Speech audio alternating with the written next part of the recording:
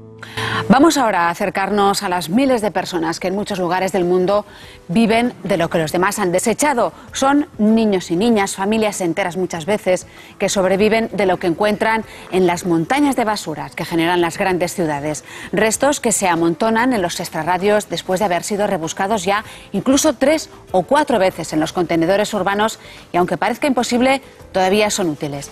Manos Unidas ha decidido dar un giro a esta actividad y convertir a estos recolectores de basuras en recicladores con un trabajo digno.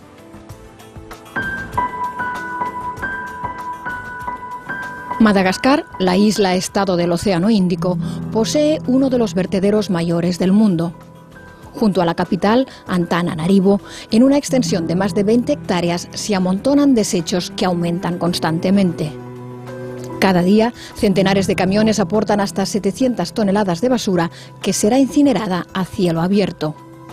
Pero antes, estas montañas de residuos urbanos serán escrutadas por un millar de familias que se disputan los restos de los restos con los que ayudarse a sobrevivir un día más. El fenómeno no es exclusivo de Madagascar. Se repite en todos los continentes. El Banco Mundial afirma que son hasta 15 millones las personas que viven y trabajan en las basuras y las más desvalidas son mujeres y niños. Son los más pobres entre los pobres, migrantes que se han trasladado a las ciudades en busca de una vida mejor y terminan hacinados en barrios marginales sin los mínimos servicios básicos. Mujeres solas, personas con discapacidad o mayores sin recursos, niños, niñas, incluso familias enteras que durante generaciones no han conocido otro mundo que el de los desperdicios que les rodean un colectivo que por las condiciones en las que desarrollan su labor son muy vulnerables a las enfermedades infecciosas derivadas de su exposición constante a materiales y productos peligrosos y a lesiones en manos, piernas y espalda. Personas abocadas a una vida miserable, jóvenes sin escuela, sin futuro, expuestos a abusos y prostitución. Pero las cosas están cambiando. Estos recolectores de basura empiezan a ser considerados recicladores y su ocupación reconocida por ahorrar gastos en los municipios y contribuir a la limpieza de las ciudades. Recogen, separan y reciclan y con ayudas altruistas han comenzado a organizarse y a convencer de que su trabajo entre basuras es tan digno como cualquier otro. Pues bien, de ello queremos hablar con Patricia Garrido Llamas, que es la coordinadora de proyectos de Manos Unidas en el sudeste asiático. ¿Qué tal? Bienvenida al programa, Patricia. Muchas gracias. Bueno, ustedes han hecho de la necesidad virtud, ¿no? ¿Cómo surge la iniciativa de reciclar las basuras urbanas? Pues la iniciativa surge del lado de Manos Unidas en el año 2003. Llevamos desde entonces trabajando con una organización camboyana que se llama CESARO, son las siglas en inglés de Organización Comunitaria de Saneamiento y Reciclaje. Agrupa, a, en principio ellos empiezan con unas 5.000 familias del extrarradio de Phnom la capital de Camboya. Son familias desplazadas en su mayoría del medio rural, gente sin tierra y sin cualificación profesional y sin medio de ganarse la vida de otra manera que yendo pues de casa en casa y de barrio en barrio recogiendo residuos eh, orgánicos eh, y plásticos también y otros materiales y intentando venderlos al final del día. Todo esto pues sin medios, desde lo más básico, desde el carrito en el que acumular la basura o la pala con la que recogerlo y por supuesto sin conocimientos de reciclaje, ni de separación, ni de reducción de residuos. Parece imposible que esas montañas de porquerías todavía puedan dar más de sí, todavía tengan, podríamos decir, una segunda y una tercera vida, como, como veíamos en las imágenes. ¿Qué es lo que se obtiene de, de, esa criba? Bueno, pues yo me gusta decir siempre que a la puerta de, de esta organización, en, su, en, uno de sus centros de producción de abono orgánico en, en Phnom hay un enorme letrero que dice mm, su, su lema, ¿no? Garbage is money, la basura es dinero. La basura es dinero. Se obtiene, pues eh, ellos mismos ahora están, están obteniendo eh, unas tres toneladas diarias, procesando unas tres toneladas diarias de basura orgánica para producir compost, para producir abono orgánico que eh, bueno, pues producen, empaquetan, envasan y distribuyen a las granjas de agricultura orgánica que hay ya por todo el país. han puesto en cultivo orgánico en la provincia que está limítrofe con, el área urbana de Phnom Penh, que es la zona de expansión natural de la ciudad, 300.000 metros cuadrados de, granjas en, cultivo orgánico. Em, de los plásticos, de los papeles, pues se obtiene todo tipo de, objetos de artesanía. Es una pena, me he acordado cuando venía en el tren esta mañana, no, no me he acordado de traerme uno de los maravillosos collares que hacen, sobre todo las mujeres, con las tiritas de papel que sacan de la basura, enrolladitas, hechas unas bolitas, y sacan unos collares bueno, mm, preciosos. Yo tengo a toda la oficina loca con que la próxima vez que vaya a visitar al basurero de Camboya que, traiga estos, estos objetos. Eh, decía que la basura es dinero, pero ¿quién se beneficia de ese dinero? Pues el problema que hay en Phnom Penh, como en otros muchos sitios, es que todas estas comunidades de recolectores son el segmento más vulnerable de la ciudad.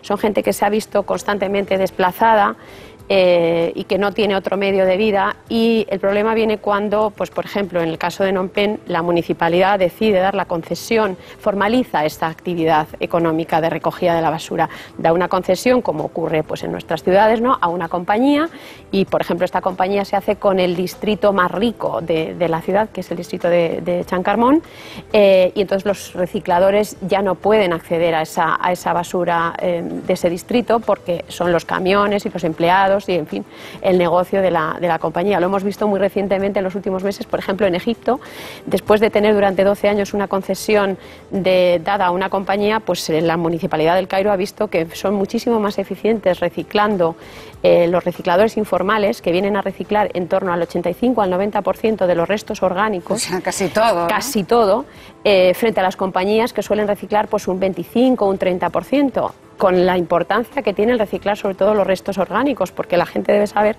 que todos los restos orgánicos, la comida que, tiramos a los vertederos, pues emite eh, un gas de efecto invernadero peligrosísimo, que es el metano, que tiene un efecto 23 veces más perjudicial que CO2. Entonces estamos muy preocupados por todo el CO2 que emiten las fábricas y los coches y, no nos damos cuenta de, de las emisiones de metano producidas por, basura orgánica. Patricia, ¿hay diferencias entre los basureros de Guatemala, de Camboya, de Costa de Marfil?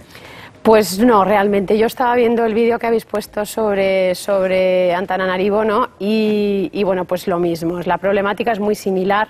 Es el, eh, pues los más vulnerables son eso, las, las, mujeres y los niños. La cantidad de niños, yo cuando empezamos a trabajar con Cesaro, pues eh, había un 52% de la población que vivía del basurero tenía menos de 18 años. Eh, actualmente un 35% tiene menos de 15 años. Son niños que empiezan a trabajar con sus familias en la recogida de basuras, dejan la escuela, entonces pues tenemos un programa de, a través de Cesaro, ¿no? de apoyo escolar eh, a donde, en las comunidades donde ellos viven, pues intentar que no pierdan colegio, que sigan en el cole, eh, problemas de salud. Entonces toda esa problemática de, gente excluida, gente que, de aluvión, ¿no? que ha llegado ahí y que no tiene otro medio que vivir de la basura, con toda la problemática que supone de enfermedades, de lesiones por cortes, porque no, no llevan, no son como los niños que nos recogen la basura a nosotros, no llevan sus guantes y sus uniformes. O sea, es un ambiente realmente muy insalubre. Y además de la inhalación, como sí, sí, la inhalación de, gases, de metano, de metano, y años, ¿no? Años, o sea, hay familias que, que llevan años viviendo, viviendo ahí. ¿Qué otros proyectos tenéis?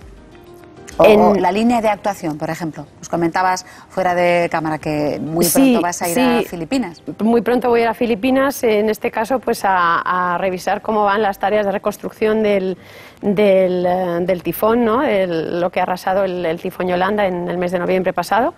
Eh, pero en, en, Camboya tenemos otros muchos eh, proyectos pues siempre de apoyar a los segmentos más vulnerables de la, de la población y lo que me gustaría señalar de, concretamente de este de, Cesaro, que tenemos también otro en, esa línea ¿no? de, pues de recuperar, o sea, lo que, es, lo que supone la lucha contra el cambio climático ¿no? y la, eh, la lucha contra la emisión de gases de efecto invernadero en países de tercer mundo que al final son los más golpeados ¿no? por los desastres naturales, como por ejemplo pues eso, el, tifón de Filipinas. Eh, tenemos este proyecto de Cesaro que ha supuesto pues un vuelco radical ¿no? en, en la fase actual que estamos, que es de tres años, bueno, pues se van a reducir las emisiones de gases de efecto invernadero en 2160 toneladas, que no es ninguna cantidad despreciable. Tenemos otro proyecto también apoyado en el sur del país de recuperación de especies autóctonas y de bosque nativo, eh, porque Camboya pues, es, uno de los, es uno de los países eh, con un ritmo de deforestación más rápido y en el que la destrucción de la masa forestal pues eh, alcanza una mayor gravedad. Y bueno, pues hemos establecido una especie de vínculo sur-sur porque esta granja de, recuperación de especies nativas utiliza el compost y el abono orgánico que produce Cesaro para sus cultivos y para sus invernaderos. ¿Y hasta qué punto les cambia eso la vida? Tener esa, esa perspectiva.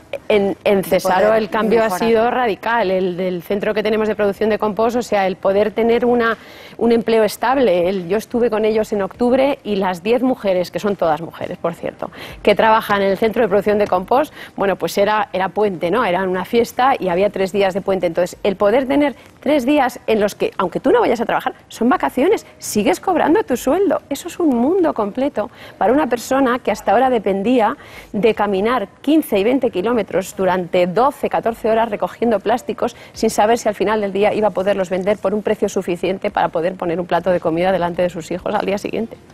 Ese es el, cambio. El cambio radical. El objetivo.